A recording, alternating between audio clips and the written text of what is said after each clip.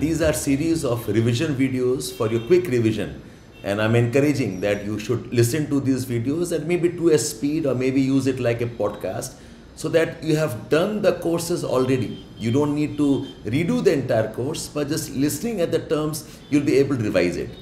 So this particular video is on understanding the slope theories and I'm discussing slope replacement model which is given by Penck. So when you write about Penck's theory, you must be sure about four five facts. Number one, pitch Penck's model as an alternative Davisian model. The Davisian model had three important elements. One is it was a time-based model. It ignored the role of upliftment. It talked only about erosion. A third is uh, Davis talked about uh, unidirectional changes, does not talk about the role of upliftment, how things may not be as sequential as he had thought. And the fourth is uh, Davis talked about conditions of North America alone. He did not talk about the other type of uh, conditions in climate where there might be glacial impact, where there may be impact related to winds or semi conditions. Now, starting from here, you start off towards Penck's model and say that Penck's model is far more comprehensive. In fact, to start with, Penck's model talks about that the landforms and the slopes are the consequence of interactions between endogenic and exogenic processes.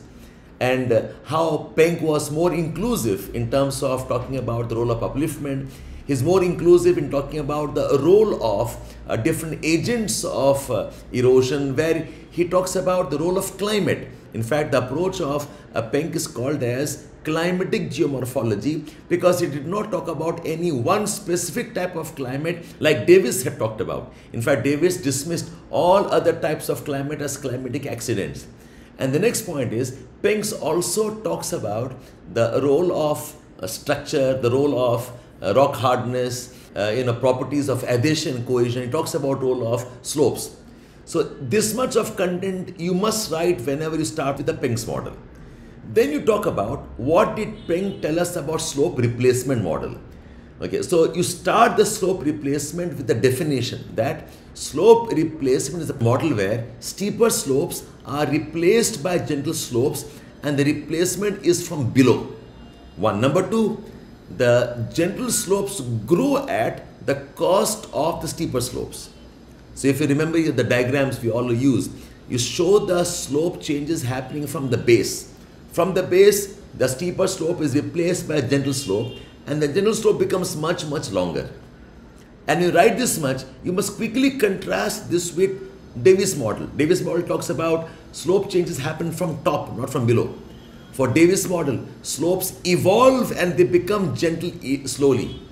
In case of Penck's model, slopes don't evolve, slopes change, keeping in mind how the gentle slope is stretching and enlarging into the steeper slopes. Having said this, you please draw the diagram the way we draw the diagram of different segments and show how the slopes are changing. That's one. The second part of slope replacement we must talk about is that what does Penck tell us about the different type of slopes and the reasons for the slopes. For Davis, the convex slope is a consequence of youthful stage. The concave slope is a consequence of senile stage. And the straight slopes are related to the stage of maturity.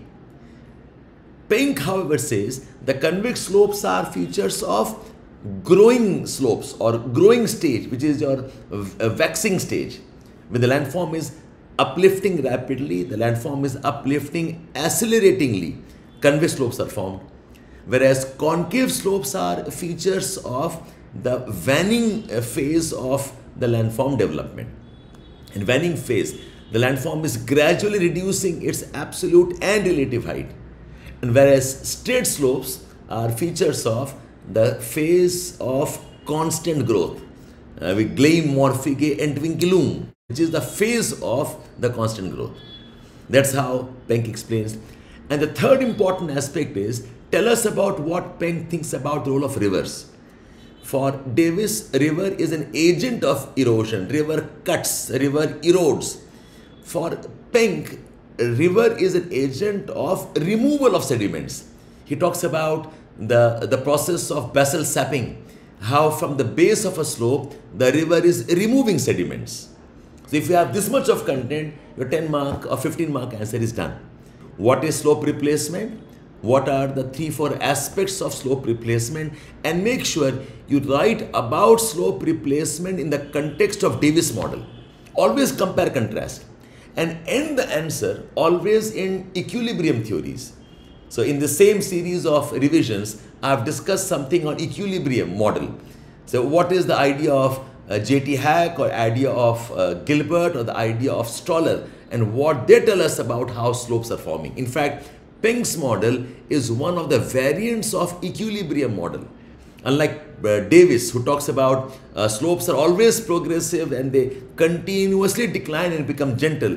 Peng says no, slopes are one type of balance, the consequence of endogenic and exogenic processes. So a typical answer on slope replacement must start with, okay, uh, what are the flaws of Davis model? Then tell us the postulates of Penck's model. Then tell us the three, four aspects of Penck and how it is different from Davis model. And the answer in the equilibrium ideas of slope, which are modern theories, and how Penk is also a variant of an equilibrium model.